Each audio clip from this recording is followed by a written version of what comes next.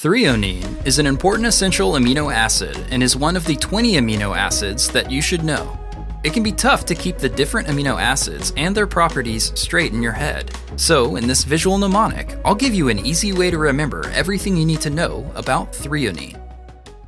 We're here at the tailor shop where I'm making some last minute fixes to a suit for one of our customers here. See that spool of thread in my hands? This thread is our symbol for threonine. Get it? Thread for threonine? It's the threonine thread. This thread can also help you remember threonine's three letter abbreviation, THR. Pretty easy, right? I mean, both threonine and thread literally start with the three letters, TH and R. Its one letter abbreviation is a bit trickier though. More on that in a second.